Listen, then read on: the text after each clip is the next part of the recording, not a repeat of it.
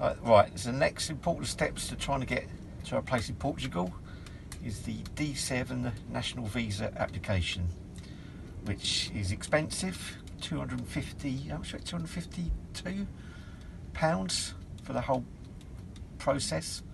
That's what you pay them, and it's like costing 160 pound in train fares.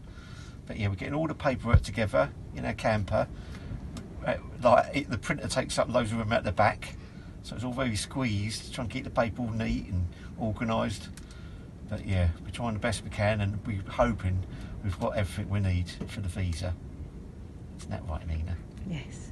So this is us getting ready. Yeah, wish us luck. see how it goes. Yeah. Right, Stephen, are we ready then for tomorrow? As ready as I think we can be. This is for our D7 visa, Yeah, for residency in Portugal. and hopefully we both get it. Yeah. Can you explain a bit more for us? Okay, we got lots of bits of paper. That's my pile, and then you've got your pile. So we're doing it. Well, not sh- going for two visas, a visa each. That's one way of doing it. The other way was if I got a visa and you come with me, and then we have family reuni- unification. but anyway, we're doing it this way because you're nervous about doing it the other way. Thinking I'm gonna. I'm just scared in case you get your you, visa Run away. and I'm left here or anything happens to either one of us or Uh, yeah, yourself. We've got I'm an interview stuck. tomorrow, in London, VFS Global. Um, and yeah, this is a paperwork we get together. So, cover letter, apparently important, explaining why you want to move to Portugal and how you're going to support yourself. Then, application form, You which put, are free papers you can download off of their website. and then- you, you've written a list as well, haven't you? Yes, I've written a list. So visa application and passport photos. Dunk. Dump. Copy of passport. Dunk. Uh, uh, Declaration de Officado. What does that mean? It's uh, like gi- giving authorisation to the Portuguese to check your criminal records in Portugal. Oh, okay, yep. So you have to have that. Copy of your tunnel ticket. You have to pre-book, or, or if you're going a flight ticket, just copy of your electronic ticket. They ask for. That's that What, bit. so that they know you're actually travelling there. just that you're serious about going, I suppose. Okay. So we've booked a, a Eurostar ticket, Yeah. uh, but I've paid more, so it's refundable. What, in case we don't get our passports back in time from Portugal? In case, yeah, because we, give our passports in. If they don't come back in time, then I can cancel that ticket or move the date. Okay. and after that is a a police certificate, which is not a what's that one you said DBS? It's not DBS. It's from ACRO Criminal Records Office, which you go online and apply for it. It's pretty simple, but it's expensive. How much does that cost? Well, we did it quick because we wanted to get it through quick, so we paid for the Premier service. It was 104 pound and all. Christ. Recorded certificate. Yeah. What else? Uh, fiscal number. So we already got that. Our lawyer got that for us in Portugal before we even went to Portugal. Okay. And then we've this is stuff they've not asked for. Birth certificate.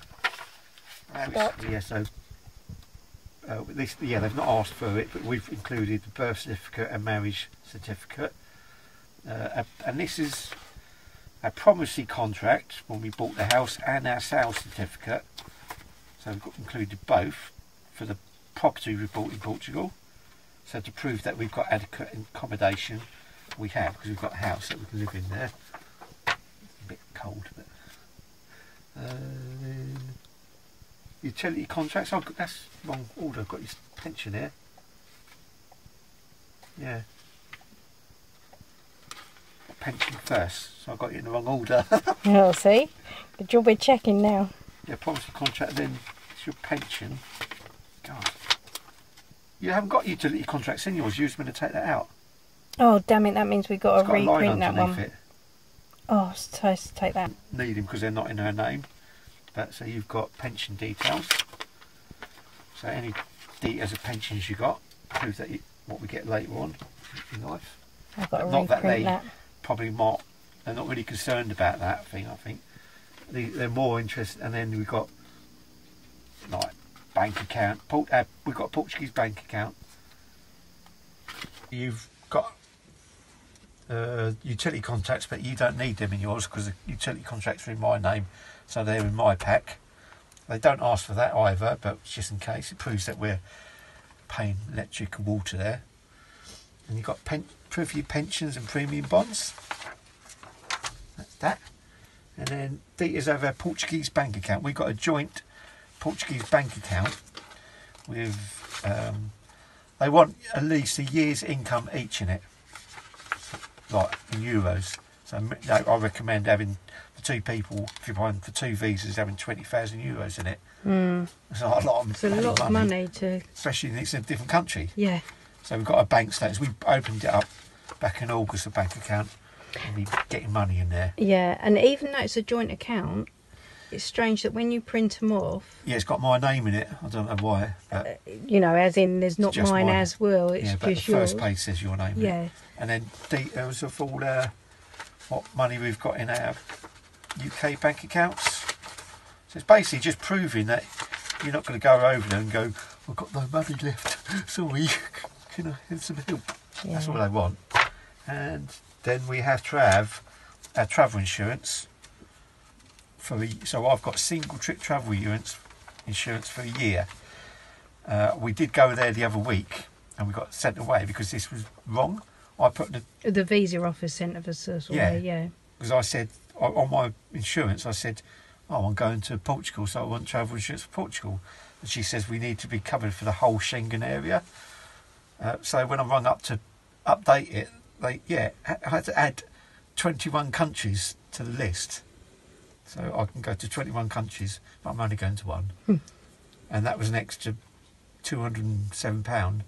So no, it's like 580 pound for travel insurance, God. but that's a year single trip travel insurance. especially when we might only, if we're only allowed there for three months at a time, that's only six months in one country and not going to twenty-one Yeah, countries. but it covers us for a year if like it's got Yeah. repatriation. So basically, we're not going to be a burden on their state. No.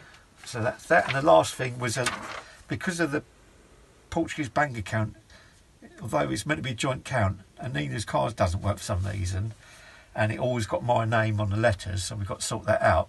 But for that reason, I've done a letter of intent which says basically that uh, me, Stephen, will support my wife Nina financially while we're in Portugal. Yeah, and also because And we that. haven't got anything in Portugal that you know says my name on it. That's why you're No, doing we've a got to get some of intent. utility bills in your name as well. Yeah, They don't. You know, they just always they just want a man. bit of yeah, all for the man, but they but- need both. Yeah, But yeah, we get the internet in your name or so. yeah, But that's it. So just got to reprint. Got something wrong on there. Got to reprint yeah. So again, we're off to London tomorrow, tomorrow. early. Yeah, so it's costing us extra now. Yeah, because we've got to go in- peak time. So the train ticket's more expensive. Mm, We've got to be there at eleven, so it means leaving here, mm, catch the train at nine. yeah, I'm not driving up there because it's a silly place to drive. yeah. So once we get this done, so we're going to go up there.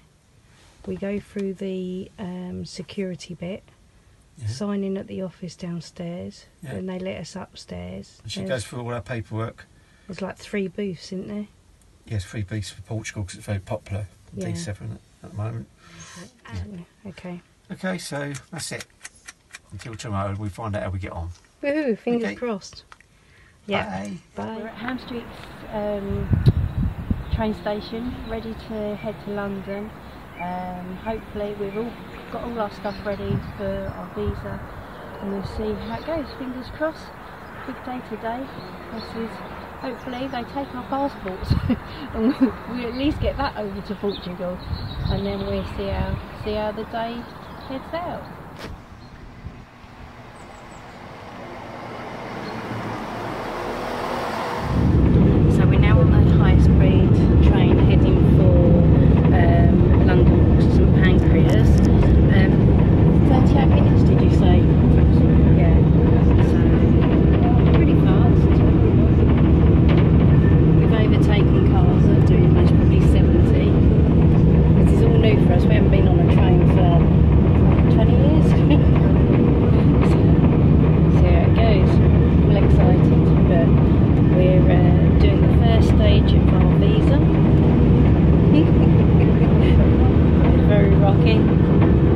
first stage of our visa um, for Portugal.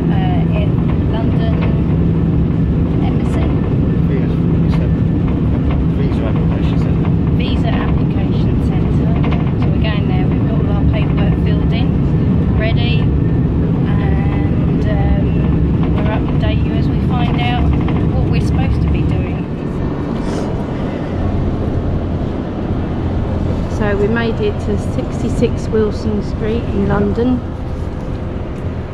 Um,